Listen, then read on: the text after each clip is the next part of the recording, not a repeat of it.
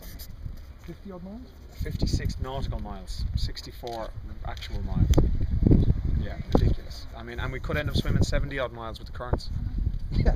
Yeah. Are you looking forward to it? Not at all, not one bit. And look, look, the camaraderie has been great, you know, and everyone's having a great bit of banter, and the joking has been a laugh. But when we, when we get down to it, it's going to be ridiculous. Um, the boats should be fun. Getting in the water, hideous. I mean, the thought of in the middle of the night tonight getting off a perfectly good boat into a freezing cold sea, and, and you can't see land either way, is daunting.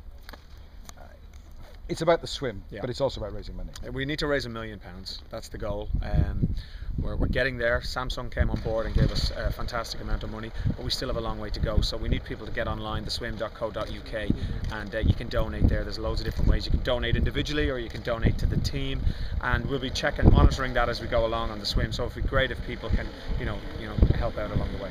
How on earth can you train for something like this?